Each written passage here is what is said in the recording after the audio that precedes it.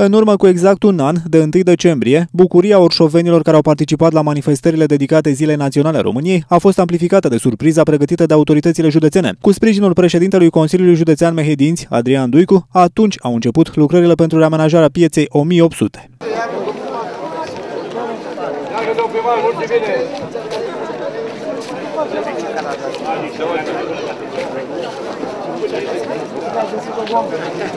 Deschidem practic lucrările de reabilitare și în maxim într-un an de zile Orșova va avea o piață nouă, modernă, așa cum se cuvine la un municipiu ca Orșova. Orșoveni aveau cu adevărat nevoie de o piață în adevăratul sens al cuvântului. Vechea piață ajunsese într-un stadiu avansat de degradare, așa că sprijinul oferit de președintele Consiliului Județean Mehedinți, Adrian Duicu, a fost apreciat de toți orșovenii. Mulțumesc uh, domnului președinte, domnului uh, prefect, domnilor deputați care uh, sunt convins că vor uh, ieși uh, la alegerile de duminica viitoare și sigurat vom avea sprijinul dânșilor ca să reușim această construcție. Este prima construcție de amploare pentru orșoveni și sigurat pot să afirm cu multă tărie că această lucrare va fi finanțată 100% de Consiliul Județean.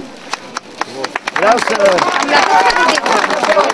Deci, în momentul de față, are 14, vorbesc în bani, 14 miliarde, dar sigur va trece de 20 de miliarde pentru... E un moment marcant, plus că acum, în acest moment, după acest spectacol, de pune acolo, mergem în piață pentru a dezveli macheta pieții 1800, un alt eveniment marcant pentru orșoveni. A fost nevoie de o nouă viziune și o politică în slujba cetățeanului pentru ca și orșovenii să beneficieze de condiții cel puțin decente de trai. Această piață vine atât în sprijinul comercianților, cât și a celor care vin să cumpere zilnic din piața 1800.